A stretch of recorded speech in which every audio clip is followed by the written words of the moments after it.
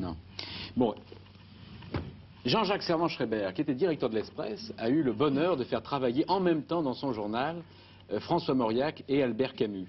Et euh, Albert Camus pendant une petite année, c'est-à-dire de, de l'été 55 à l'été 56. Mais enfin, Camus et Mauriac ont été donc à l'Express en même temps. Et vous savez que Jean-Jacques Servan-Schreiber ne pouvait pas être des nôtres ce soir, puisque c'est ouvert à Versailles aujourd'hui le congrès radical. Mais je suis allé le voir avec une équipe pour le filmer, et j'ai demandé à Jean-Jacques Servan-Schreiber, euh, eh euh, comment se fait-il qu'il avait demandé à Mauriac et à Camus ensemble leur collaboration, et au fond, comment le journal s'en est trouvé. Pourquoi D'abord, à l'évidence, à cause de leur talent.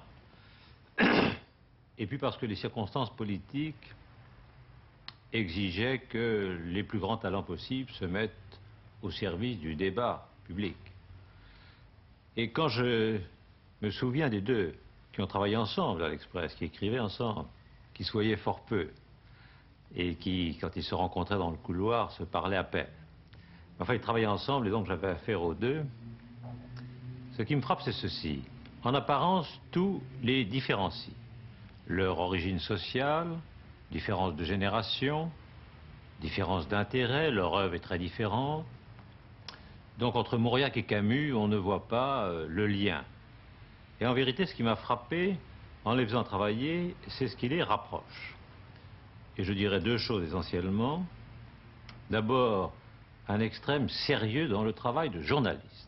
Ils prenaient l'un et l'autre, bien que consacrés naturellement aux grands écrivains, le travail de journaliste très au sérieux.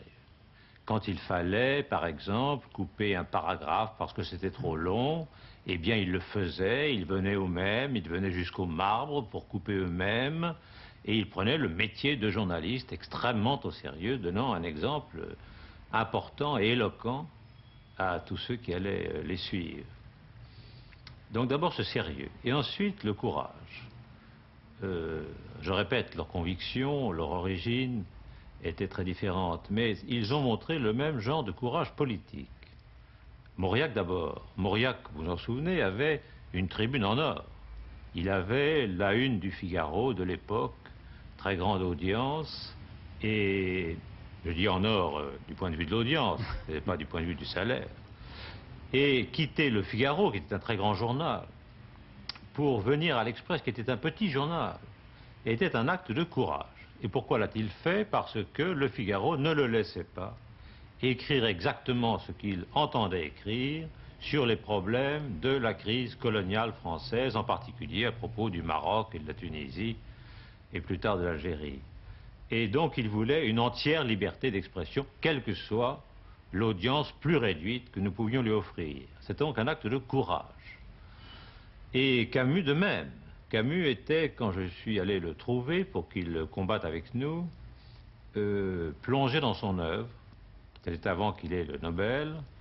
Et il se consacrait à son œuvre. Il avait décidé, il me l'a longuement expliqué, euh, de ne pas se mêler aux joutes de la politique et de rester à son travail d'écrivain.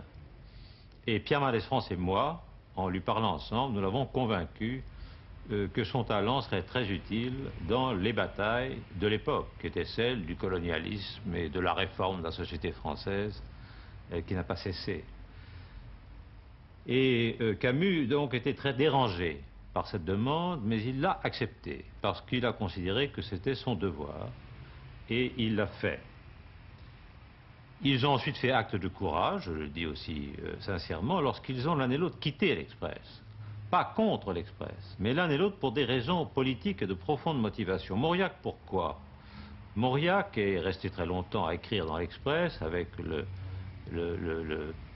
brio et les, les échos, les répercussions de ses articles, et puis par euh, amour du général de Gaulle, alors que l'Express, et avec moi, combattait la politique à l'époque euh, du général de Gaulle, Mauriac a considéré qu'il ne pouvait pas recevoir chez lui, euh, dans le Bordelais, la visite du général de Gaulle en étant, comme il l'a dit et écrit, lié d'une manière quelconque à un journal qui combattait la politique de de Gaulle. Il a donc cessé sa collaboration et n'a plus écrit comme journaliste. C'était aussi un acte de courage.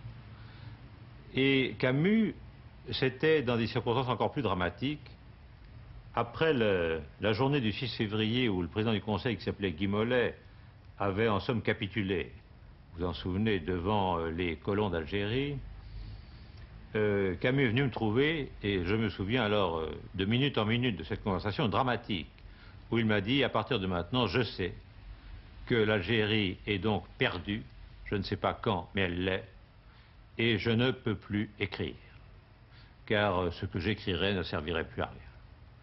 Il a donc cessé dans des conditions également d'intégrité et de courage. Voilà ce qui les rapproche infiniment et profondément.